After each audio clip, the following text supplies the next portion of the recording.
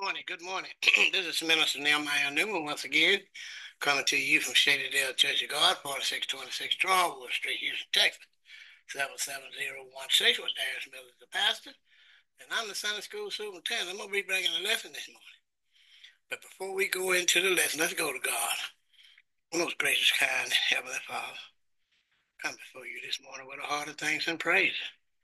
So grateful and thankful, dear Lord, that you allowed me to see another day. You gave me one more uh, opportunity to say thank you. You gave me another opportunity to praise you this morning, dear Lord, and, and I praise your holy name right now. Just thanking you for you being the God that you are, that you being a loving and kind and compassionate God and forgiving God. This morning I just praise your holy name. I just give you all the honor and all the glory and all the praises, dear Lord, because they are, you, you deserve all the praises. They all belong to you. But that thank you for giving, waking me again this morning, Lord. And, and uh, did I sing the sunshine shine, shine one more time? Like I say, I'm just praising you for who you are, for where you are. I'm praising you for being my God and my Lord. Praising you, oh Heavenly Father, for you being God all along, being God all along. Oh, Heavenly Father, I'm just thankful and grateful this morning. Thank you for just waking me this morning. Dear Lord, closing my right mind and a portion of my health and strength. Dear Lord, you picked me up, put me on my feet, and you started me out on my way. Oh, Lord, you didn't send me out high and dry. All the basic necessities, dear Lord, that you said you would supply was all on point.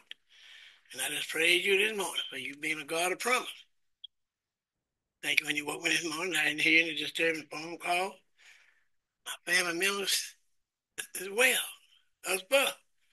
And I am thankful this morning, Grave Axe, you just continue to bless them. Bless their health, Lord.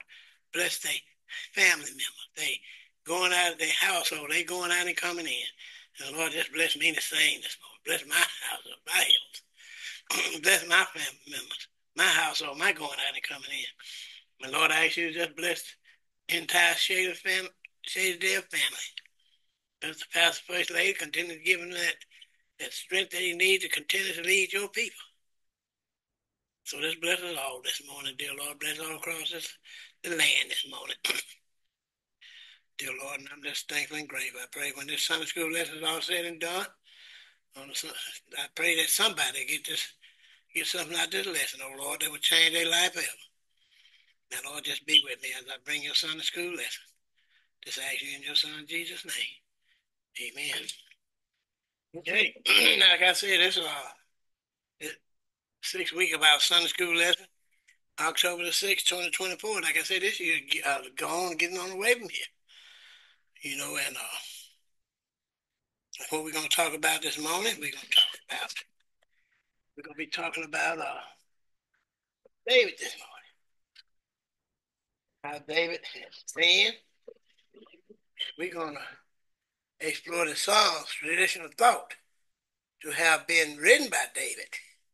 After, the, after he committed adultery with Bathsheba, he had her husband killed and was confronted with his sins.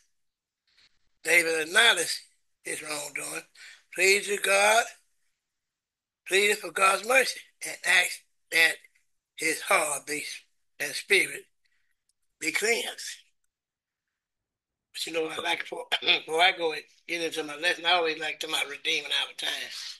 And then, like I say, it's October the, 6th, 2024. This year is going on the way. So we out there redeeming our time. Are we making the best of our time? Missing our time good, Lord. And uh, doing what we're supposed to be doing out there for the Lord showing other people how we how, how God good God been to us. Are we out there showing love to one another like God showed us? We are. We need to uh, be out there showing how good God was to, to us. Helping one another. Like I always say, if somebody out there home, and, and we got to make restitution to give them some food. Thirsty, we got to make sure they got something to drink. And Lord commanding us that we uh, take care of our enemy as well. So we're not doing that. We're not doing God's will. We'll never be in the kingdom of heaven. We'll never make it. We got to keep his commandment. Like I said, he commanded us to uh to, to love our enemy. And we got to love our enemy. We got to be out there uh, making disciples. How many that we need to bring other people to the cross? Uh, if you don't want to try to stand before God and ain't trying to bring nobody else to, to the cross, well, I don't know how good that's going to look on, on your resume. But we need to be out there doing God's will. So let's get out there and do what we're supposed to be doing. Okay. That's done. I already said this uh, week six of our Sunday school lesson, October 6, 2024. It said, What is our studying about today? And this included us, not only David. It is challenging for people to acknowledge that they have hurt others and made amendments for what they have done. When David says for action, sin, action came when David sinful action caused harm to others, he repented and found forgiveness in the Lord. And we're going to be looking at this from Psalm 51, 1 through 4, 10 through 12, and 15 through 17. What those topics are going to be about, we're going to be talking about sin, forgiveness, and the Holy Spirit. So, uh, so we see what David done. It said it is challenging for people to acknowledge their wrongdoing. But say, but David, of actually caused, him, caused harm to others, he repented and found forgiveness in the Lord. But the Lord looking for more than forgiveness. We'll see what it is as we go through our lesson. Let's read our Bible background and see what it said. It said David was not the perfect king yet. God testified concerning him. I had found David, son of Jesse, a man after my own heart. You'll see that in Acts 13 22. They say, Why did God reject Saul as king and appointed David instead? We said, Each king of ancient Israel and Judah made mistakes, but the Lord was looking for a repentant heart. Not just repent, a repentant heart. Not just, Lord, forgive me, I repent. But he is looking for a repentant heart, where a leader who was truly repentant when his when he sinned. Now we're going to be looking at Psalm 51 as we go. Is traditionally an attribute of David, and to, and, and said to be written by him after he committed adultery with Bathsheba and had her husband Uriah murdered. David sought more than forgiveness. And here we go. He asked God for a, to renew his heart and spirit so that David could be a be a faithful servant of God. And so when we sin and we don't hurt people, you know, of it might just be self that God forgive me. Forgive me, dear Lord. But he say, but he say, he found repentance for forgiveness in the Lord. Say, Lord is not looking, he's looking for a repentant heart. And we're going to see how it is as we go on in this lesson. So we've seen about background. We know what our topic is about today. Sin. That's what David had done. He sought forgiveness from God and, and the Holy Spirit but the Holy Spirit uh, takes care of all this for you. And let's look at our first segment here of our lesson and see just what is what is talking about. We see in Psalms 51, 1 through 4, where David have asked him for mercy, and God have mercy on him. Okay, let's look at Psalm 51. He, he what he's saying. Have mercy on me, O Lord, O God, according to your unfailing love, according to your great compassion, blot out my transgression. He's asking the Lord because he done did something boy that he he's uh, really, really hurting him. how many people that when they do harm to somebody else, do they really care? Some people don't even do harm to other people and, and move right along. But we as Christians, and we hurt somebody, we supposed to do this. We supposed to go to the Lord and ask the Lord forgive us what we done to this person. And this is what David doing. He pleading now to God for what he's done. Look what he says in verse 2. Wash away all my iniquity and cleanse me from my sin. Verse 3 asks, For I know my transgression, and my sin is always before me. Verse 4 he says, Against you, and you only have I sinned, and done what is evil in your sight. So you are right in your verdict and justified when you judge. So whatever happened, but what he done, he telling God right now, you right. So you are right in your verdict and justified when you judge. But uh, David now is pleading for him, asking for mercy. Let's look in our commentary and see how further, how much more it is.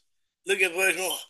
To receive mercy is not to get something bad that we deserve. We have to go and ask for, for, for repentance. And what it say? The ultimate wages of sin is death. If you look at Romans chapter 6, verse 23. And sin is also, and sin also disrupted, disrupt our relationship with God in the present. And the writer flee with God to have mercy on him. Not because of anything the writer had done to deserve it, but because of God's unfailing love and God's compassion.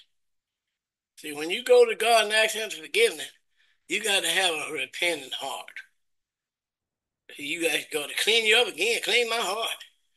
Oh, I've hurt somebody, Lord, and and I'm coming to you now to ask you to forgive me. But before you do that, you have to go to God and ask God to forgive you. That's what it says. That David was not the perfect king, yet God testified concerning him. I have found David, son of Jesse, a man after my own heart. So you're going to have to be seeking after God's own heart, chasing after God, loving God. And, and, and when you do wrong, when you do wrong, you're going to have to ask for forgiveness. And, and said the writer pleaded with God to have mercy on him, not because of anything the writer had done or to deserve it, but because of God's unfailing love. God loves us. We had to go to him and ask him in his compassion and ask him to forgive. When you go to him and ask him for forgiveness with a forgiving heart and asking God to have mercy, God will forgive you and it say it, it, it, it, but because of God's unfailing love and compassion. It says when we repent and are forgiven of our sin, the Lord will blot out our transgression, clean us up, and never worry about it again. He's throwing in the yonder seas of forgiveness, and it never rise to trouble us again. But we gonna have to do something do something. We just can't just go head on and thank God gonna forgive us anyway. We got to go to God and, plead to God to help us from what we have done to somebody else. God, please forgive. But God looking for somebody with a repentant heart. That's why he got rid of Saul, because Saul didn't have that. But David had the repentant heart. Chasing after this. And like I said, like I read over here and, and, uh, and, and let me see if I can find it again right quick the, the Islamic tradition are thought to have been written by David after the, he committed adultery with Bathsheba and had, a, had her husband killed and was confronted with this sin. David acknowledged his wrongdoing, pleaded to God for mercy, and asked that he is asking to, to, to uh, David acknowledge his wrongdoing pleaded for God's mercy, and asked that his heart be and spirit be cleansed. So we got to go ask God to clean us up. Give us a new spirit, Lord. Just, just clean us all up and give us a new start. That's what He did, David. That's what He did, David, and that's what we gonna have to we gonna have to do. And uh, like I say, verse three says, "For I know my transgression." And my sin is before me, for, before me. So David is asking God have mercy on him. And we and uh as we see when when we repent and are forgiven of our sins, the Lord will blot out all our transgressions. It becomes as if he had no memory of them.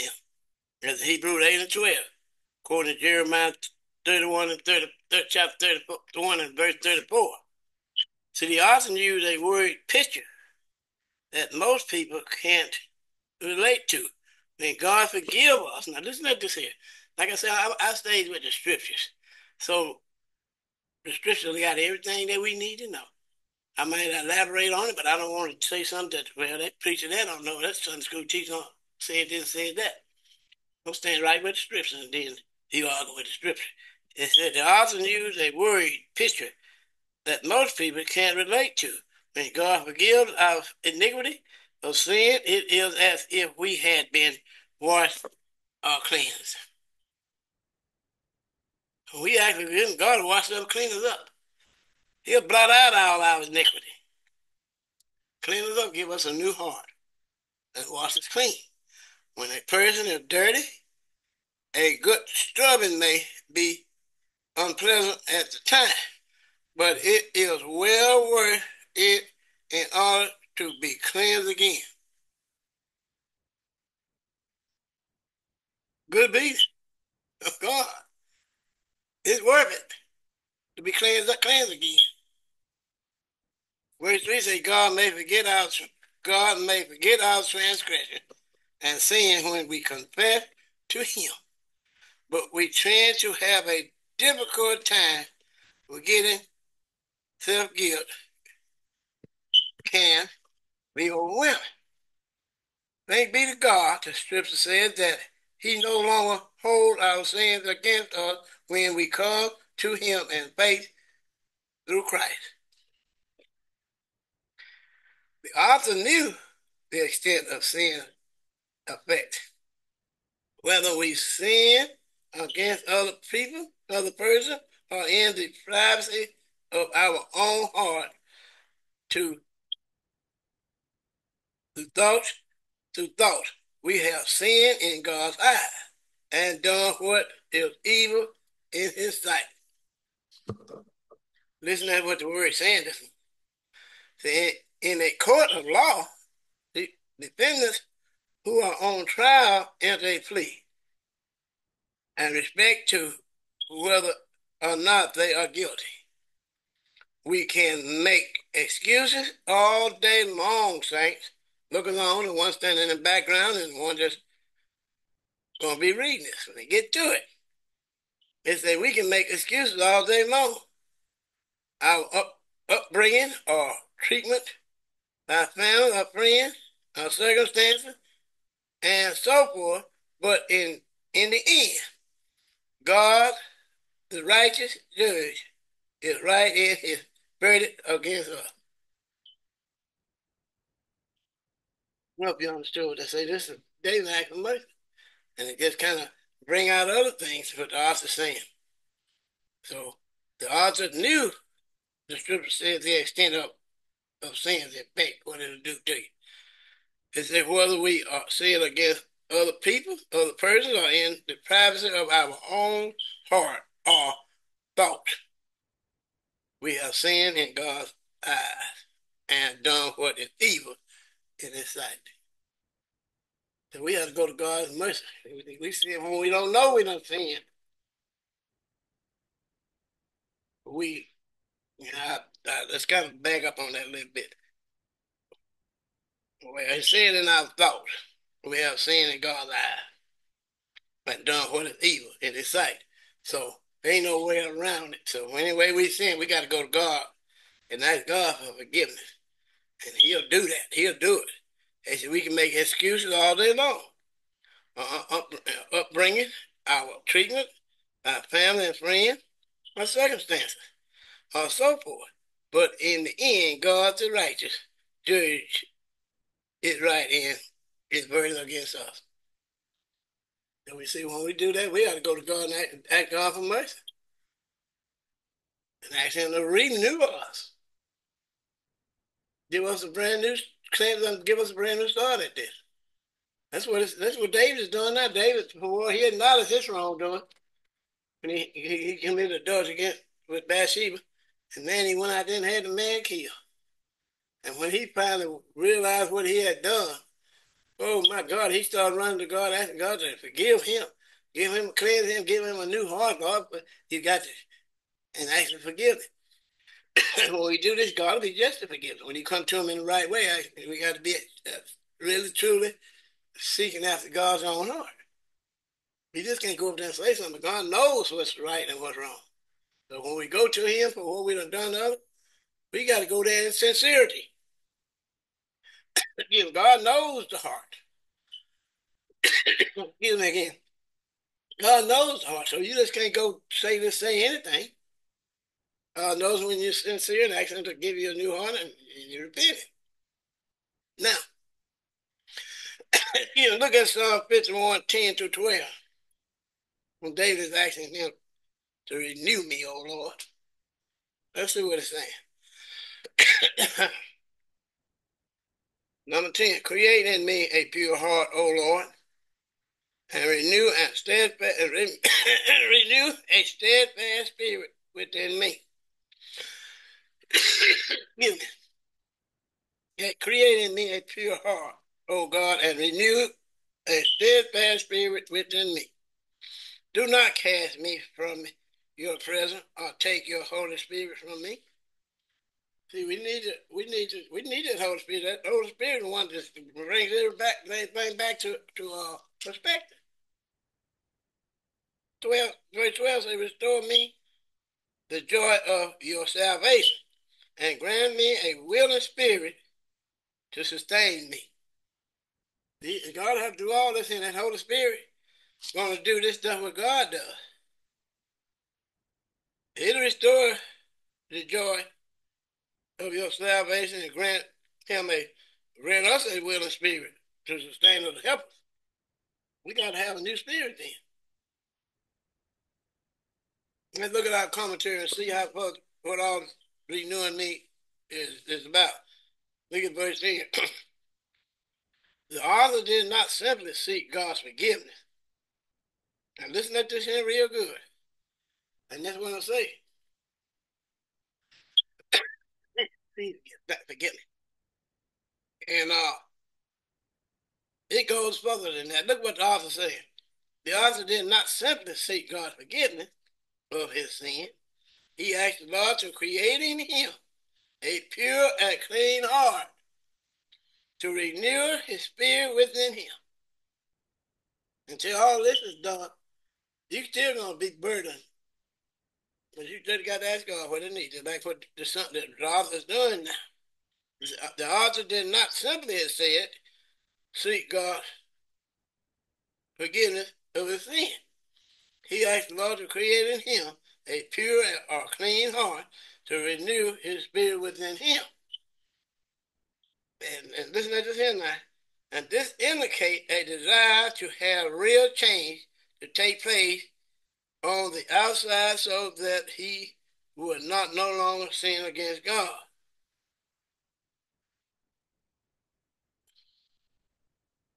As Jesus said, the spirit is willing, but the flesh is weak. That's in Matthew 26, verse 41. Since we cannot stop sinning in our own power, listen that this is, uh, saints, Christians, lookers on the one standing in the background.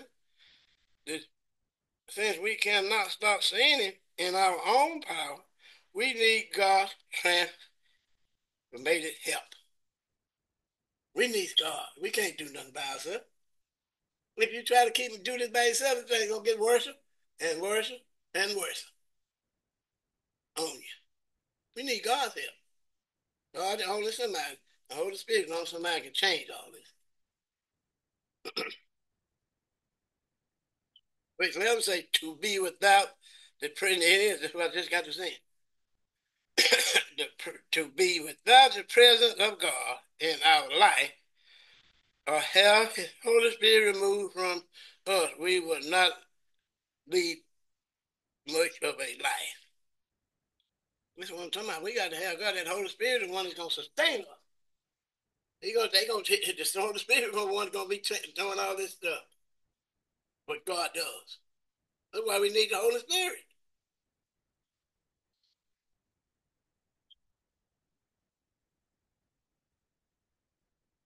Let me see one minute. That to be without it, the presence of God in our heart, in our life, or have His Spirit removed from us, we could not lead much of a life at all. The Lord sustains all creatures, even people who do not know Him, or care about Him, or live because of God. But those persons who has been reconciled to him and received his Holy Spirit knows that that it is the Spirit who empower us and serve God according to his will. On verse 12, there is a great joy when we are saved in Christ and receive the forgiveness and love of God. Over time, now listen to this over time, the things can lose their edge. And when we sin, the relationship grows distant. The writer continues to look to the Lord to sustain him and give him the motivation to remain faithful.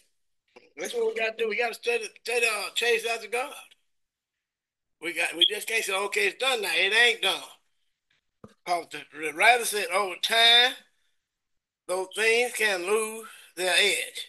We can kind of fall right back into that same thing, is what the writer said. And when we sin, the relationship grows distant. We got to continuously follow God, start asking forgiveness. And we all are sinners saved by grace. We rather continue to look to the Lord to sustain him and give, uh, give him the motivation to to, to remain faithful. And we got we got to always have God. We can't do nothing without God. What kind of life do a person have without a God in his life?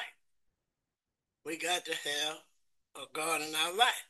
And this writer here is asking forgiveness, and it is showing relating to us to that in this time that all this still related to us. Like there showing us how David sinned and, and he didn't just go away laughing. David felt real bad because he, what he done to, to, to commit adultery with Bathsheba. Then he went and had her husband killed. When, like I say, when David realized what he had done, my, my, my, he just like the flipped. so he rushed to God and asked God to forgive, clean, wash me out, committed me a new heart. Help me, please, right now. Have mercy on me. Some people can do harm to somebody and keep walking. Even some Christians. They go on about their business. But when that day comes, he gave you up time. He said you left the word behind it, show you what to do. And if you don't follow his word, when that, when, they, when we get ready to stand before judgment, and you think you finna enter, enter in? He can say, depart from me, I don't know you. Well, Lord, did I do this, do that? Yeah, but uh, I don't know you. You didn't get it together. You failed to get it together. So that's why we need to be content chasing after God's own, after God's own heart. And what it say? God knows that we will make mistakes in this life. Hear what I was saying? But when we are willing to confess our faults and seek his help, we will continue to grow in his love and his grace. His grace. All this stuff. God have mercy on you when you do that, when you go to Him. He'll have mercy on you. When you ask Him to renew you, renew your heart, give you a new spirit. And then a broken spirit. Look at what Psalm 15, 51 and 15 has to say. A broken spirit. Let's look at 15. Open my lips, Lord, and my mouth will declare your praises. He's opening his lips. Open them up, Lord, and my mouth will declare your praise. We need to continue to tell God what has happened. You got a broken spirit now. Look at verse 16. This is what it says. You do not delight in sacrifice. He said, now watch this here. Watch this real close. He said, You do not delight in sacrifice, or I will bring it, I will bring it. You do not take pleasure in burnt offerings. He wants you a repentant heart. I can bring all that stuff to him. He won't accept that. He wants a repentant heart. He wants somebody to repent, a repentant heart a broken spirit. He want you to come to him, ask him for forgiveness, and he wants somebody with a repentant heart, not just ask for forgiveness and go in on. He wants somebody with a repentant heart. Listen to what, listen to what it's saying. I want to read that again. You do not delight in sacrifices, or I would bring it. You do not take pleasure in burnt offerings. Look what the uh, verse 17 says now. My sacrifice, O Lord, is a broken spirit. A broken spirit and a contrite heart. You, God, will not despise me. Okay, let's see what else is saying in our commentary. Look at verse 15. Here it comes.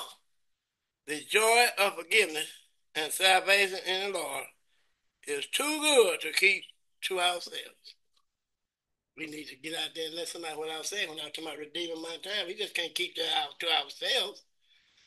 we need to go out there and let them know the joy of forgiveness and salvation in the Lord is good.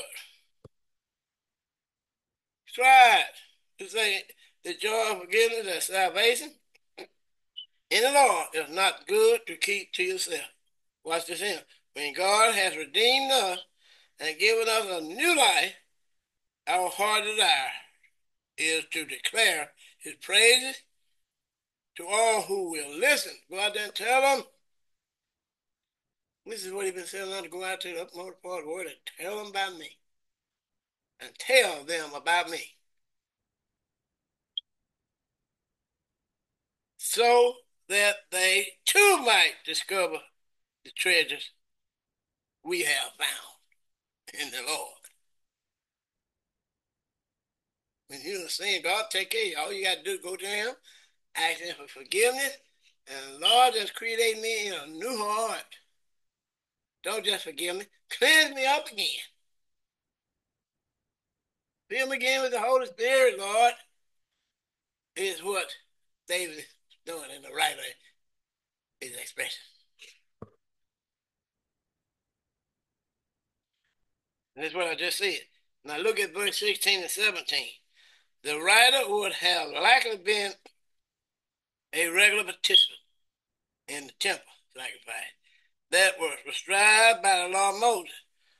But the temple sacrifices that were prescribed by the law of Moses, but he knew that sacrifices and burnt offerings are not ultimately what God is looking for. God is looking for somebody with a pure heart. come out with, with, a, with a repentant heart. That's why he's booted uh, Saul out. They, they, they say all the sacrifice, all the, excuse all the, the kings of uh, Judah and, and Judah wasn't perfect. They all made mistakes. But they just went on by their business. But when David found out and realized what he had done, oh man, he just went crying to God, Lord, please forgive me. Forgive me, create me a new heart, Lord. Just cleanse me up and wash me clean, say, good. Struggling with water and stuff is good. but when you've been cleaned up, ask God to cleanse you up, God cleanse you up good. Well, let's remember all this here. And I want my my readers to know all this. I don't want to just just uh come make everything look all good and, and all that, paint everything red so it can look good or whatever color. I want my readers to know everything. I don't want to just make everything look good and, and just chop up the word and, and my readers don't know everything. I want them to know what the Lord will do for you. When you make a mistake, even if you make a mistake, come to Him. It's the only way out of here, I've been saying. So if you don't ask, do hurt people and then just walk on away with thinking everything is okay, Christians, when you stand before God and you don't look for something, ain't gonna be there. Why? Because you didn't do what you're supposed to been done. Been doing. So we gotta get out there and show them others how God has been good to us. It said we just don't want to do this here and keep all this goodness to ourselves. We want to get out there and share it. The good news what God has done for us. Let me see what else it's saying. But he knew that the sacrifices of burnt offerings are not ultimate what God is looking for. Let me see what else it says. Instead, the Lord desires to see humility in us, a broken spirit or contrite heart that recognizes its own depravity. That is depending, and that is depending on Him. We got to depend on God. it ain't nothing that we can depend on. I can't depend on my bank account. My bank it can go away. And what that's going to leave me? Stuck out. Car can break down, won't ever crank again. I can burn things, can't feel it, build it back no more. But like I said, the word of God, which that ever when all this other stuff went away, he said you can have the, voice of sound and cymbals. You can have all the knowledge in the world. You can take it and uh, sell all your goods and give it to the poor. But if you don't have that one thing, and that one thing is what is being talked about here, that love, you don't have anything. You don't have anything. He said, all that stuff will soon disappear. Word was there well. So I'm asking this morning, some saints, you can't depend on your good job or your bank account or your pretty car you got, nice house. He done warned you that before, all through the Bible. Now, Matthew, Matthew, I can't remember just what scripture, but in Matthew it says, seek thee the kingdom of heaven first. And all this stuff will be added. But he actually said, when all this stuff be had, don't just take this stuff and go and think everything's okay. And forget about me. But be your treasures up on this in heaven. Not upon this earth where the moth, rust, the bees will come and take it from. I'm here to tell you, it'll go away. It will go away. But you got to keep your trust in God. Continue to follow Him. If all this stuff go away, you got to continue to, to trust God. Like Job. Like Job. All that stuff happened to Job. Last a customer died. Job said, not this, not me. He said, I know I haven't done anything wrong and I'm going to wait and see what it is. Joe waited, kept his trust in the Lord. And when it was all, when the dust and the smoke settled, God told the devil, this man had put up right me. Joe got everything back twice what he had, two or three more times, what was about to said, got it back. But when trouble come our way, we got to continue to trust God. They stay fast. Trust in Him. Stay steadfast and unmovable. Let us pray. Oh, great kind of Heavenly Father, come this morning with a heart of thanks and praise. With a heart of thanks and praise. Thank you for your word, Lord. Thank you for what you have shown us this moment. Showing us how to just depend on you. Like I said, it's hard for some people to recognize they wrong. Like I said, some people just walk on the way. But David didn't walk on the way. Saul and the other kings, they didn't even worry about it. That's why God removed them. Brought David in the picture. Like I said, we all sin. We can't start in the glory of God. but when we go to God, go to you, Lord, and ask you for forgiveness, you will be just. When all my listeners, some saints, all them standing in the background, God will forgive us. I said before, get on this ship with, with the Lord and go. Even the poor ones that he said the poor be among you, always be among us. I'm telling the poor right now. Seek thee the kingdom of heaven. Seek God. Don't seek material stuff. Now, like I said, all that stuff going to disappear. But the word of God lasts ever. So get on this ship with, with the Lord and come on, because at the end of that tunnel, Diane, he got all that you ever want. To suffer now. But they won't have to do this always. All the crime will be gone and no more death and joy at the end of the tunnel. So Lord, I'm just grateful and thankful for your word that I can tell somebody else about it. How good it is, how sweet it is. Now be with us, dear Lord, as we go through the rest of the day. It's asking in Jesus' name. Amen.